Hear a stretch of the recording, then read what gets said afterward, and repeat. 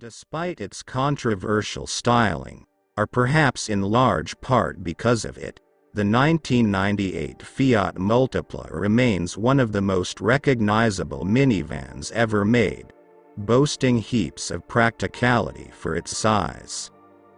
Some consider the model ahead of its time, including independent designer Marco Maltese, who drew inspiration from it for his latest project.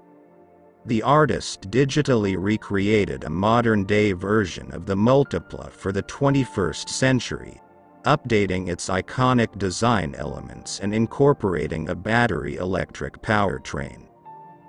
In many ways, the Re Multipla project echoes Renault's revival of the Twingo Mini, possibly sparking a trend among automakers to reintroduce iconic 90s models.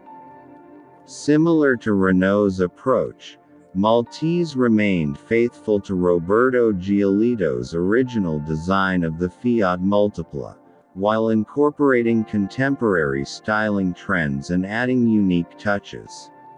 As with the original Multipla, which was produced from 1998 through 2010, although it continued in China until 2013, the profile retains its